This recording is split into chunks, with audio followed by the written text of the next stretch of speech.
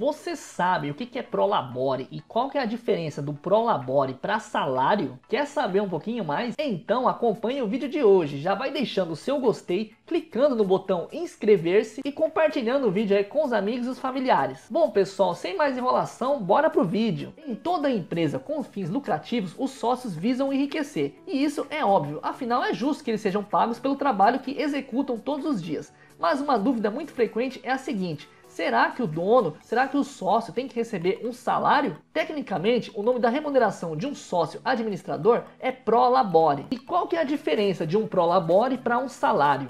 Prolabore vem do latim e significa pelo trabalho. O prolabore é a remuneração que um administrador recebe pelo trabalho desempenhado em sua empresa, Todos os sócios que desempenham atividades administrativas têm direito ao prolabore, mas para isso é preciso estar especificado no contrato social da empresa a figura do administrador, que pode ser constituído de uma ou mais pessoas. É importante lembrar também que prolabore não é a mesma coisa de distribuição de lucros e dividendos. Sócios que não desempenham função dentro da empresa não devem receber o prolabore. Além disso, pela nossa legislação trabalhista, o prolabore não possui regras obrigatórias relativas a férias, FGTS, 13º salário e assim por diante. Isso porque no Prolabore os benefícios trabalhistas são completamente opcionais. Presta atenção, são opcionais no Prolabore, diferente aí do salário. É claro que a empresa pode optar por todo fazer um acordo com o sócio e estabelecer estes quesitos pelo contrato. Vale ressaltar, vale lembrar que sobre o Prolabore também incidem impostos específicos de acordo com o regime tributário da sua empresa.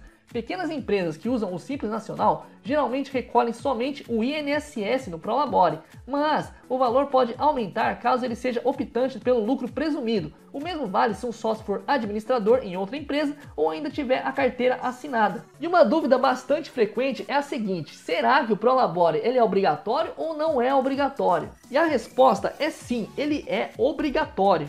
Prolabore é válido a partir do primeiro mês no qual a empresa emite a sua primeira nota fiscal. Os sócios que estão no contrato social precisam pagar a previdência na condição de contribuinte obrigatório. Portanto, se o valor não for registrado, sua contabilidade pode ser arbitrada pela Receita Federal e ter que pagar a quantia correta do INSS. Não tem um estabelecimento de periodicidade para retirada, mas nenhum outro pagamento ou benefício pode ser pago no mesmo mês se o Prolabore não for retirado. Por outro lado, é bom lembrar que ele só vale a partir do momento em que há faturamento. Se você abriu a empresa e não emitiu nenhuma nota, esse valor não deve ser registrado. Tá, mas qual que é o valor mínimo aí do Prolabore? Dentro da legislação brasileira, o Prolabore ele é um pouquinho diferente aí do salário. Portanto, não tem uma definição de prolabore mínimo. O salário tem o salário mínimo, já o prolabore não tem um prolabore mínimo e também não tem nenhum valor máximo. Contudo, uma boa dica para vocês empreendedores que estão tentando estipular uma quantidade é a de se colocar na mesma situação quando você está empregando alguém. Quanto você pagaria para um funcionário realizar os trabalhos de administrador da sua empresa? Essa pergunta pode ser mágica para auxiliar nessa questão. Seguir a tabela do INSS que define o piso e o teto também pode ser uma boa abordagem. Na contabilidade, o Prolabore vai ser registrado como uma despesa operacional da companhia. Por outro lado, se a sua empresa possui funcionários, é bom estipular um valor de retirada maior do que o dos empregados, uma vez que o governo utiliza esse critério como base de fiscalização para verificar se há divergências. Além disso, um motivo muito forte para você definir um prolabore é para não atrapalhar a contabilidade da empresa. Sócios que fazem retiradas esporádicas, ou seja, só de vez em quando, acabam tumultuando os custos empresariais e geram trabalho extra para os seus contadores, uma vez que não fica explícito, não fica muito claro o custo total de cada produto ou serviço. Isso pode demandar mais do seu caixa. E eu vou deixar neste vídeo uma importante observação também. Você já parou para pensar e imaginar como seria se os custos do sócio fossem zero? Então, para resumir este vídeo aqui, eu vou deixar um passo a passo para você de como definir um Prolabore em poucos passos e evitar dores de cabeça aí para você.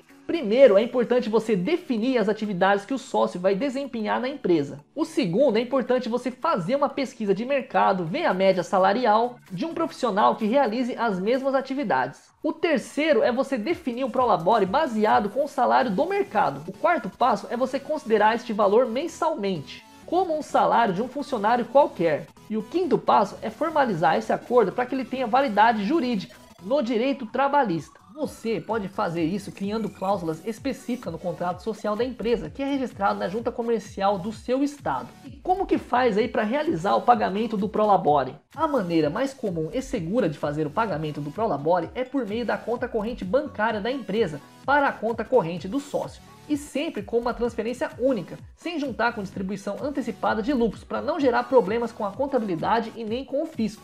Qual que é o custo aí para retirar o Prolabore? Isso aí vai depender muito do regime tributário da empresa. De qualquer maneira, o contador vai precisar gerar uma GPS, que é uma guia da Previdência Social, para pagar o valor referente à contribuição aí do INSS. Vou colocar aí no vídeo de vocês para vocês terem uma noção como que ficaria no Simples Nacional. O custo da empresa é inexistente, ou seja, sem contribuição patronal. O custo do sócio será retido na fonte ou reduzido o valor bruto de 11% do INSS e o imposto de renda de acordo com a tabela progressiva da Receita Federal. Empresas que têm atividade no anexo 4 do Simples Nacional são obrigadas a recolher o INSS patronal, ou seja, 20% em conjunto com a parte descontada de 11%. Agora, no lucro presumido, o custo da empresa seria de encargos sociais de 20% sobre o valor do Prolabore e o custo do sócio será retido na fonte ou reduzido o valor bruto de 11% de INSS e o imposto de renda de acordo com a tabela progressiva da Receita Federal. Então é isso, pessoal. Espero que eu tenha esclarecido as principais dúvidas aí referente ao Prolabore, o famoso salário do dono da empresa. Se ainda assim está com dúvida, deixa aqui nos comentários. É muito importante também você deixar o seu gostei, isso me ajuda demais. Clica também no botão inscrever-se e ativa o sininho.